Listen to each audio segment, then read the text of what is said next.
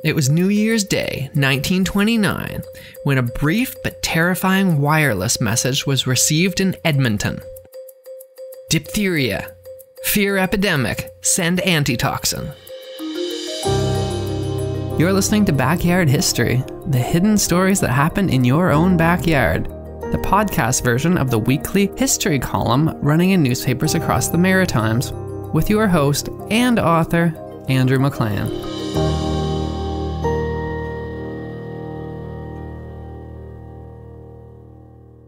Two men had set out two weeks earlier by a dog sled over the vast icy wilderness to deliver that message to the nearest wireless station. One man had died on that odyssey.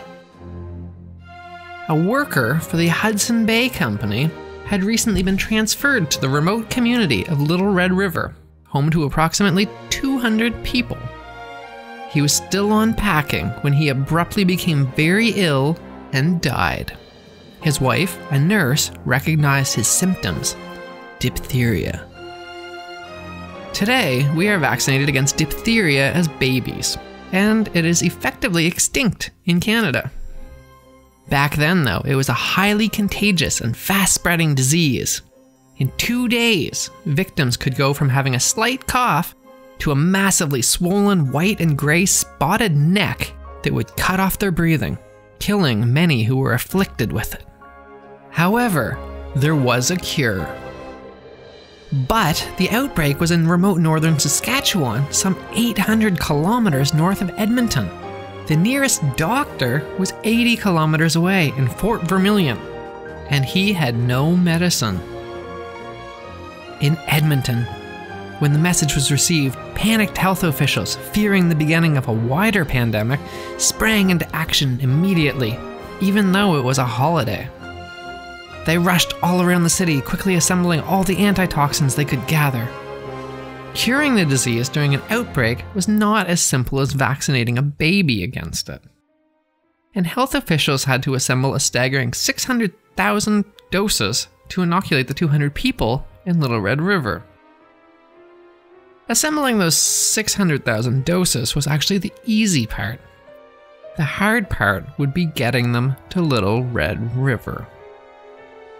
Flying was the ideal option, but flying over 800 kilometers in the dead of winter, beginning on New Year's Day when the weather was minus 33, would require a pilot who was either very brave or who did not value his life and limb.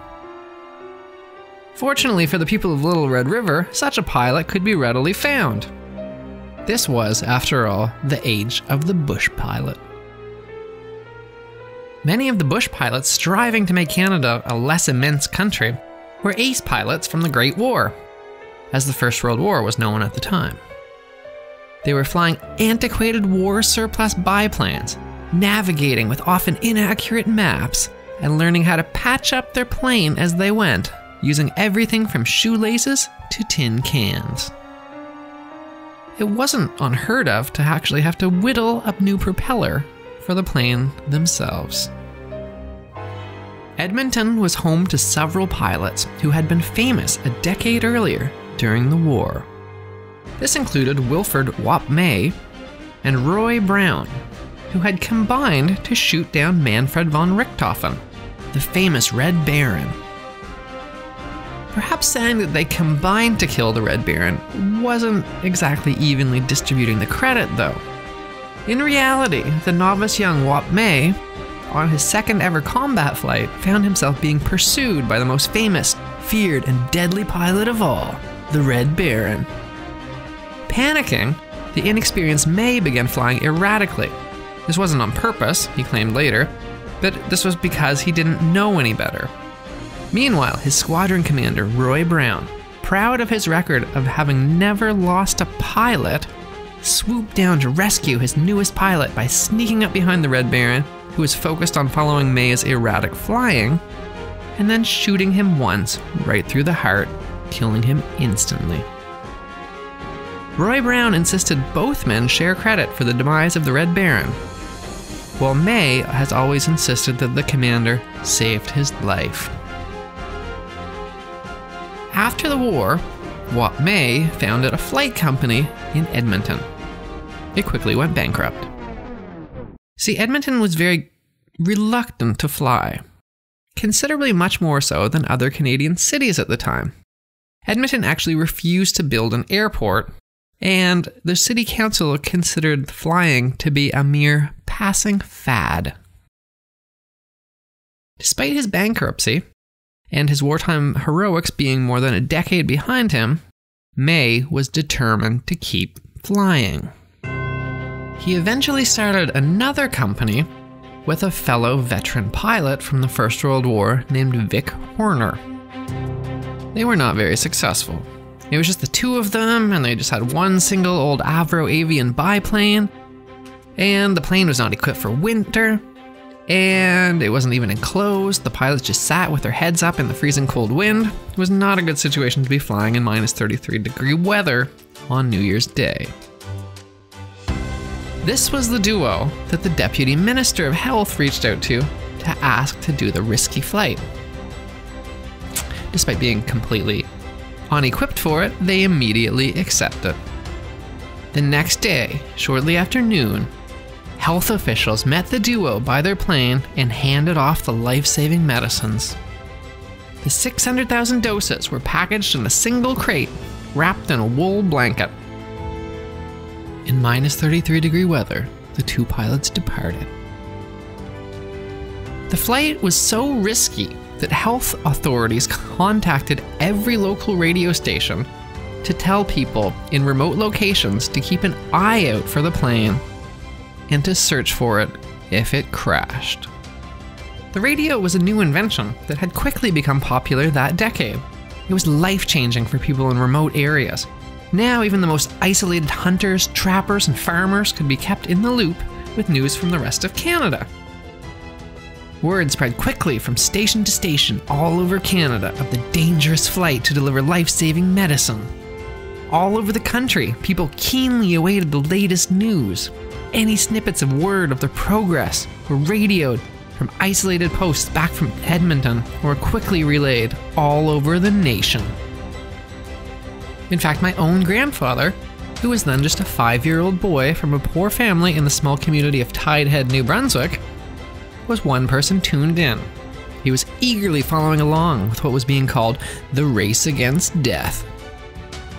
Decades later, he would still talk of the sense of excitement and the sense of hope across the nation during that flight. Mere hours into their flight, disaster struck. They looked back and there was smoke pouring out of the rear compartment where the medicines were stored. The duo quickly made an emergency landing. It turned out that the wool blanket the medicines were wrapped in had caught fire two men extinguished the fire by throwing the burning blanket into the snow. They realized that the source of the fire was their heater, which was now broken. Even worse, if the medicines froze, they wouldn't work. The two men stuffed the medicines into their clothes, under their armpits, in their groins, to keep it warm with their own body heat. Then they took off again in the freezing weather. After several hours of flying, darkness set in and there was a looming snowstorm, and they were forced to land in McLennan. McLennan had no airport, and few places did. The health authorities had wired ahead, instructing the people of McLennan to clear snow off of a nearby lake to make a makeshift landing strip. The duo spent the night there, and they left early the next morning. They had to go all the way to Peace River to refuel. Meanwhile, on the opposite side of Canada, in New Brunswick, the Telegraph Journal newspaper followed their progress, and they said, quote unquote, it was 33 below at Peace River. It was almost unbearably cold in the aeroplane. The men were numb from the cold when they were lifted from their seats. After gassing up in Peace River, they were off again. Their maps were of questionable use in the snow, but they were able to follow along some train tracks. They successfully arrived in their destination of Fort Vermilion, where they were able to give the life saving medicine to the lone doctor in town, who himself was showing symptoms of the disease. The doctor then began to travel 80 kilometers by dog sled with the medicines to Little Peace River. Their flight back to Edmonton was even more dangerous for the two men. They had gotten sick on the flight because of the cold, and the weather was getting worse. Their plane was in bad shape, and it had terrible engine problems. Despite the delays and the mission being completed, the public was still breathlessly following their progress as they made their return. When they made it back to Edmonton, a crowd of an astonishing 10,000 people were waiting for them to land. The Telegraph Journal reported, quote unquote, breaking through the police lines, thousands of people started for Wop and Vic. The plane was halted. The aviators were taken from their seats, hoisted on sturdy shoulders, and paraded a distance of 500 yards to the hangar, where they had the opportunity to warm themselves before a fire that had been especially built for them. The medicine saved hundreds of lives. In the end, the only deaths were the HBC employee and the dog sled driver who had died getting the message out. May capitalized on his heroics by launching another flying company called Commercial Airlines. Unlike his previous efforts, this company became successful, bringing people and goods all over Canada's north.